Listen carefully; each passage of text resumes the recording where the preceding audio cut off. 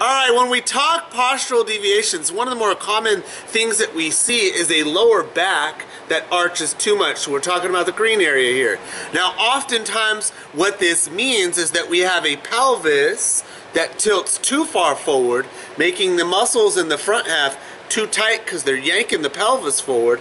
As a result, the muscles in the lower back have become very, very tight to keep your spine erect. The muscles in the front half of your body, the deeper abdominal muscles, have been stretched out a lot and become very weak.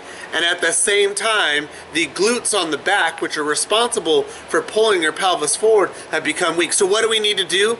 The opposite of that. We need to strengthen your deep abdominal muscles. We need to strengthen your glute muscles. We need to turn off the muscles of the low back.